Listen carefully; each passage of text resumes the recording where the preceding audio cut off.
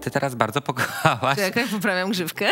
Liczna, że ty bardzo pokochałaś teraz życie na wsi. Także e, zastanawiam się, e, co, co dokładnie daje ci radość, jeśli chodzi o tę wieś? Tak, właśnie mnie też zapytała córka wczoraj. Mówi Nata e, Natasza. Mamo. Mama, a ty e, wolałabyś mieszkać na wsi czy w mieście? A mówię, wiesz co, chyba najfajniejsze jest to, że możemy żyć i tu, i tu. W zależności od, od zajętości e, jesteśmy w Warszawie, jak jest dużo pracy i jednak mamy to miejsce i to jest fajne, a jak mamy troszkę wolnego czasu i taki, to, troszkę taki azyl dla nas, to jest taki, wiesz, takie miejsce, gdzie rzeczywiście zamykamy tą bramę i na chwilę chociaż możemy zapomnieć, to jest super, bo to tak czyści głowę, to jest takie, wiesz, hu, wypuszczamy powietrze i wchodzimy w zupełnie inne sprawy, bo tam jest mnóstwo spraw do załatwienia, to to wbrew pozorom, Jakich? wiesz, no to jest... Jakich? No i właśnie Mieszczuch się odezwał. Jakich? Proszę cię, tam jest całe gospodarstwo do ogarnięcia, tam, tam jest ogród, to jest, to jest mój świat, wiesz, ja, ja co wiosna odkopuję ten ogród, tam jest tyle roboty, bo ja oczywiście i tu, i tu, i tu, a nagle się okazuje, że te ogrody zarosły, wiesz, no jak, jak w jakimś... E, Czyli normalnie Natasza Urbańska z sekatorem tam. Byś wiedział, jakie zakwasy mam później. Ręce mi się aż tak trzęsą pod koniec dnia, ale jaką, jakie to jest, wiesz, e, jest świetne uczucie, bo ja zapominam chociaż na chwilę, ta głowa jest wyłączona e, i ja po prostu robię porządek, ale ten porządek też robię duży macie tam ten ogród? drogą w głowie. No, ja rozbudowuję cały czas te ogrody nasze, no bo to po, posadziliśmy właśnie 12 lat temu, kiedy tam się przeprowadziliśmy, znaleźliśmy to miejsce, a to tak naprawdę wyszło z tego, że po prostu Kalinka się pojawiła w brzuszku i ja gdzieś szukałam jakiegoś takiego miejsca, domu rodzinnego, takiego bezpieczeństwa dla niej, z myślą, z myślą o dziecku, żeby stworzyć rodzinę.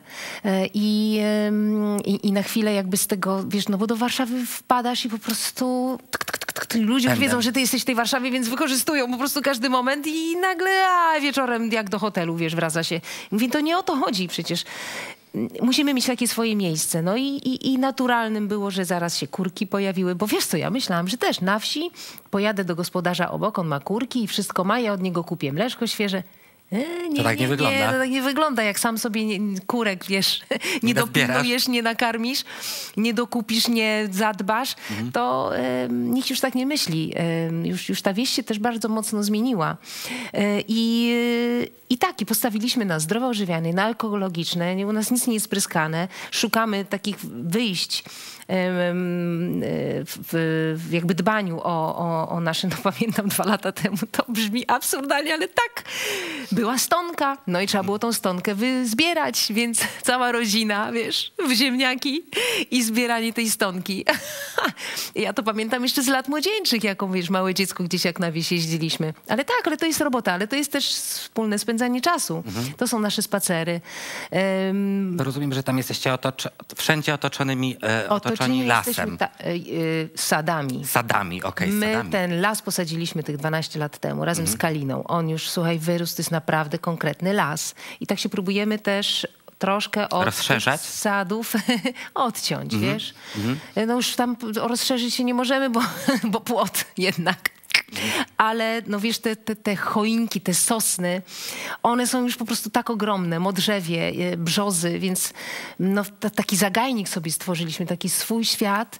Em, uwielbiamy tam wracać, ale nie jesteśmy skazani też na to miejsce, co też daje nam taki, wiesz, taki moment, że... e, Oddechu takiego? Takiego oddechu, Mhm. tak, że jak chcemy, jedziemy e, i, i mamy, no, ogrody, powiększają się ogrody warzywne. Rzeczywiście na początku to tak było, wiesz, taki był ogródek, Od jakiego warzywka zaczynałaś? taki, takie warzywka malutkie typu, no na pewno pie, tam pietruszka kolendra musiała być, bo ja po prostu Och, uwielbiam ja nienawidzę kolendrę. kolendry. Naprawdę? Jezu. Ogóreczki musiały być, pomidorki, e, no i, to, i, e, no i pierwsze rzodkiewki, no i sałatka. No i takie, takie wiesz, wiosenne historie. I nagle marcheweczka doszła, a tu buraczki, a to zaraz trzeba zrobić pole, bo ziemniaki właśnie, te ziemniaki też przynosimy, truskawki. I wiesz, i nagle się coraz więcej, i później jeszcze jabłonki dos, dosadziliśmy, bo te nasze stare jabłonie, Ech, ja ci o jabłoniach teraz opowiadam. No dobra, ale nie, się ja, łapię na tym. Ale nie, bo ja już to widzę w gazecie, jak to będzie wyglądało, bo to jest bardzo ciekawy temat. Dobra, powiem ci, szefowa mnie poprosiła, żebym o tym zapytał.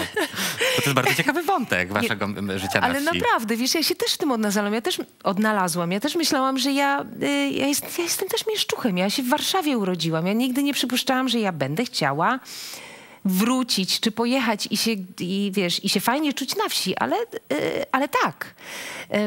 To jest takie nasze miejsce, gdzie odpoczywamy, y, zbiera, zbieramy zioła. Cały czas jest coś do zrobienia, więc w ramach takiej równowagi to jest fajne. To jest fajny, fajny moment takiej ucieczki, ale zbieramy też siły e, i, i no, na, na, na, na pracę potem. Wracamy z jakąś taką oczyszczoną, z jakimś takim nowym, świeżym, wiesz, podejściem.